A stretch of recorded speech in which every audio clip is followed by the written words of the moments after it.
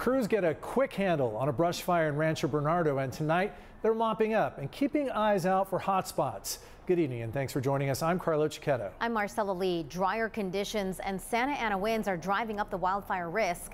CBS 8 Steve Price is live in Rancho Bernardo tonight with an update. Steve? So Marcella and Carlo, behind me, what you see is Battle Mountain. And the fire raced up the one side of Battle Mountain. And the concern was that it was going to go down the other side. On the other side, you have apartments, you have homes. A huge concern. Plus, as you can see, the 15 freeway is right here. And with the conditions we had, there was concern that the embers would blow across the 15 and start fires on the other side of the freeway. So you can imagine it was a very scary scene when this fire when this fire first started around 2:30. Uh, the mountain, the side was on fire. The whole thing just flames, uh, burning like crazy. And that section over by the freeway, it was all it was super close to the freeway. So the fire burned in heavy fuels, but crews got here really fast. They were able to stop it at five acres. Now, for precautionary reasons, 64 people were evacuated from the apartment complex and the homes that I talked about earlier. The good news, they should be allowed to return back to their homes any minute. They're not going to have to spend the night away from their homes. No structures burned. At this point, no injuries reported, so that's good news as well. Investigators aren't sure yet how this fire started, but they say this area, dry, windy conditions out here. There was a huge concern when it started, and they brought in two helicopters right away. And the fire chief told me that was a game changer. Um, during peak fire season, like we're in right now, we staff both of them, um, and that's exactly why we do it. So, two helicopters alternating drops really helps to slow the fire spread, uh, protect the nearby structures, and, and prevent any injuries. So, um, a coordinated effort between ground crews and uh, and the helicopters makes a huge difference. So at this point, they're saying the fire basically out. That said, crews are going to stay here for several hours, possibly even overnight. Their big concern, Carlo and Marcella, is that we'll have some hot spots reignite, and they want to make sure they jump on those quickly because unfortunately we've seen in the past what can happen if those are allowed to burn. Steve, impressive how quickly they were able to get on that fire and get it out. But we've been watching out for Santa Ana winds all day. What kind of role, if any, do firefighters say that those had on their efforts today? Carlo, when this fire first started, I was actually out in Alpine talking to CDF firefighters about the wind conditions and their huge concern out there in the far east county. The good news, we're in kind of a bizarre pocket right here where we're not really getting those Santa Ana winds. So we do have very dry conditions, but the fire crews told me that for them, fortunately, the Santa Ana winds were not really a factor in this fire today. And we can be thankful for that. Steve Price reporting live from Rancho mm. Bernardo. Thanks, Steve.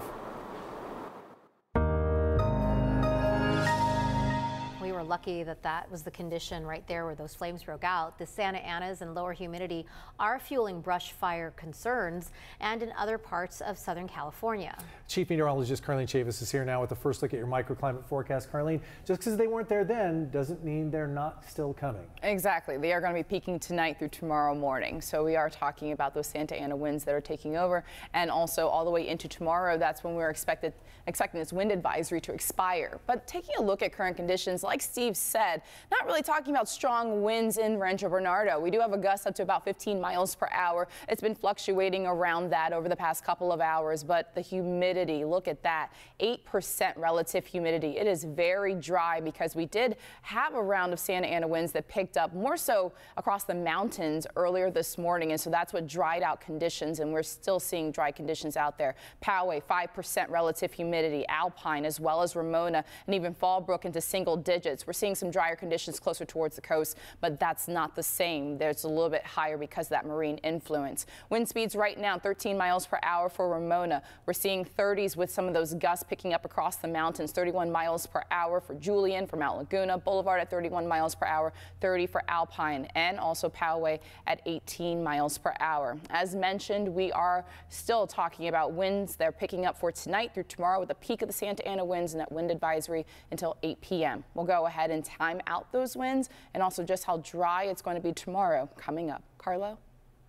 Thanks, Carlene. And you can get the latest forecast and have weather alerts sent straight to your phone. Just download our free CBS 8 app or head to CBS8.com. A San Diego family is picking up the pieces of their Halloween decorations. They put up an extravagant display for the kids in the neighborhood every year, but vandals did several thousand dollars worth of damage to it over the weekend. CBS 8's Anna Laurel joins us live from that family's front yard in Cardiff. Anna, what happened? Yeah, Marcella and Carlo, check out the Halloween display at this house here behind me. You can see this takes so much work, a lot of detail here, but you see the big, huge skeleton? These are those big skeletons that have gone viral online and really hard to get your hands on. There's one here tipped over behind me. It's damaged, but check out the big one down here next to the house. Someone has ruined it. During the day, families come, they bring little kids, people are walking up and down the street stopping to look at it. Every year, Rick Kassar and his family put up gigantic skeletons, zombies, and ghosts and create a cemetery of sorts in his front yard for Halloween. They do it for the kids.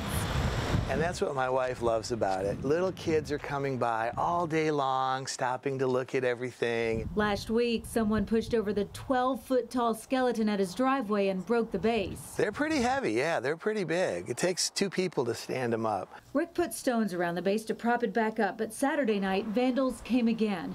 This time, they knocked down both big skeletons beyond repair. To knock him down, they had to walk right up to the window. I had been right there and I had just left, so the TV was on. They knocked him down and the head is broken and Everything is all messed up. Rick has cameras. The one right here can see everything. His neighbors also have surveillance cameras. Today, he met with sheriff's deputies. Rick has been in education for decades and has his own suspicions. We have the second best school district in the state multi-million dollar houses. Everybody buys their kids $2,500 e-bikes. And I think where we're missing the boat is that we're not teaching our kids gratitude. We're not teaching our kids responsibility. And in trying to give everything to our kids, we're failing to teach them how to be good citizens. Rick was picking up his son and wasn't home between 10 and 11 o'clock Saturday night when it happened. At first, he was angry. Now, he just wants whoever did it to be held accountable and learn from their Halloween mistake we're not going to let it ruin it for the hundreds of good kids that come here, and especially the little ones who enjoy it so much. Now, I spoke with the San Diego County Sheriff's Office today. They say with the current estimated damage, it is possible that the suspect or suspects could face felony vandalism charges for what they did out here. And I should say, um, this dad is not just picking on kids with e-bikes. His own son has one too. They're just trying to be good members of the community and want to get that in return. Live out here in Cardiff, I'm Anna Laurel for CBS 8. Guys. Anna, did he say that he felt targeted in particular? Do you know if this is happening anywhere else in that neighborhood? No, you know what? I don't think he necessarily feels targeted. It's we drove around the block because there are a lot of people up here with some really great Halloween decorations. And one woman told me that when she comes outside in the morning, she has smaller skeletons sitting on some chairs. She'll come outside and their heads will be turned. She said, but nothing like what has happened up here at this house. All just right. well, out of control. Been in contact with the sheriff's department. It sounds like he's got video, so we'll have to see what happens. Thanks so much, Anna. New developments tonight in a missing persons case involving a former Navy SEAL and a Chinese tourist. More human remains were found in the Anza Desert over the weekend. CBS 8's David Gotfredson talked to an attorney who says he believes the remains are of the missing woman, Feng Jin. The Anza Desert can be a very unforgiving place, especially in the summer months when temperatures can rise above 115 degrees. Former Navy SEAL John Fitzpatrick and Chinese tourist Feng Jin mysteriously went missing in late July. Shortly thereafter, his four-wheel drive Toyota pickup was found abandoned in Anza Borrego, south of the Harper Flat area. Now CBS 8 has learned Jin's remains may have been found in the area. Fitzpatrick's remains were discovered in September in Harper Canyon. All indications are that they found remains on Saturday. Attorney David Schmidt got word of the discovery from a private investigator hired by Jin's family. You have a 47 year old woman with two beautiful daughters, one in college, the other a young girl, something like seven years old, and all of a sudden they don't have a mother. And so it, it hits you that it, it's a tragedy. Jin flew to California in July from her home in China to meet up with 52 year old Fitzpatrick, who lived in Morongo Valley. She came here for romantic purposes, had been uh, texting him for for something like six months prior to coming here, and they definitely had rapport. And her expectation was that he was going to show her around the area Morongo Valley, Morongo Basin, Joshua Tree State Park, and see whether the relationship developed. Schmidt has been involved in the case and says the San Diego Sheriff's Department notified Jin's family of the discovery, but not the public. San Bernardino County Sheriff emailed me a statement saying, quote, human remains were located over the weekend in the Anza Borrego area. However, no positive identity of the remains has been reported to us. I rode out to Fish Creek Wash in Anza Borrego over the weekend. Did you see an abandoned blue pickup truck, Toyota? A law enforcement source told me Fitzpatrick's pickup truck is still out there and it's going to take a helicopter to get it out. David Gotfredson, CBS 8. Thanks, David. Right now, the San Diego City Council is considering several options to make public restrooms more available in the downtown area. In May, a grand jury made recommendations, and the city's new draft response tonight lists the ones that they are working on. It includes expanding 24-7 access to restroom and hand washing stations, making an online map of the locations and posting those maps downtown. Council President Sean Elo-Rivera says they are also looking at ways to save money to build more bathrooms. The cost of maintenance has been a reason why the city has either closed restrooms in the past or not opened more. We my office and my, again, don't think that that's a reason not to have restrooms open. The mayor's goal is to have bathrooms within a five minute walk of most places downtown, but that is still being explored. The city's response is due on November 10th. A Leucadia woman contacted us earlier this month, heartbroken and furious about what happened to her husband. He took off for a short ride on his e bike and crashed into a curb. You doofus. I mean, it's like oh, I just want to throttle him. He, you know, if he had his helmet on, if he was wearing his helmet, he would be walking away with just facial fractures. Yvonne Moots poured out her heart to us, anger, sadness, and all.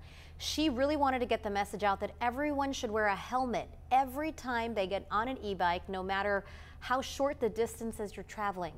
And now she is asking us to make that point again because over the weekend she told us that her husband died of his injuries. They were married for 33 years.